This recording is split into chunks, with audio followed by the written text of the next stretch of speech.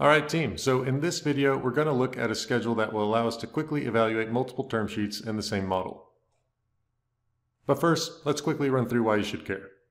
When contemplating an acquisition, the deal team at a private equity firm starts by establishing a partnership,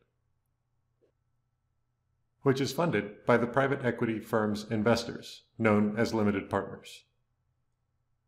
They will then create a holding company, which will be used to acquire the stock or assets of the target. But to raise the remaining funds, they will first need to secure capital from their lending sources.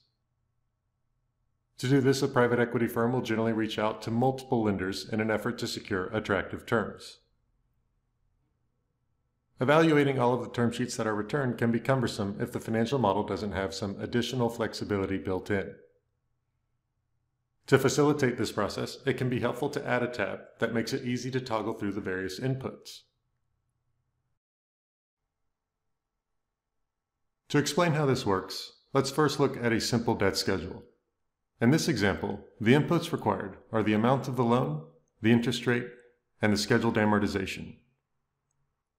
Without a capital structure toggle, each time you want to run a new term sheet through your model to evaluate the outcome, you would have to manually input the cells currently boxed in red. Instead, with this additional schedule, you can cycle through various term sheets with this input.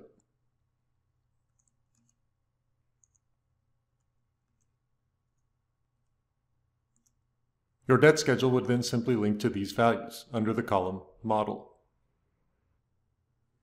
And just so that you can see it in action, we'll press Ctrl X and then tab over and paste the toggle here. So now you can watch the schedule change as we check the various inputs.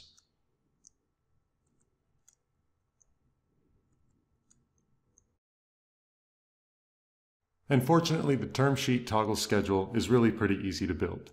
To take a look, let's press Ctrl X and put the toggle input back where it belongs with Ctrl V. And you can see that the way this formula works is we're using the choose function to cycle through the various inputs from each lender.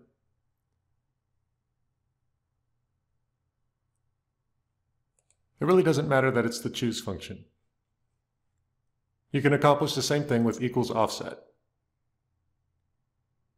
And I've included both examples in this schedule so that you can download it and take a look yourself. In part two, we'll look at linking this schedule into an already active LBO model so that you can really see how much time it saves when you're evaluating different scenarios and the corresponding outcomes.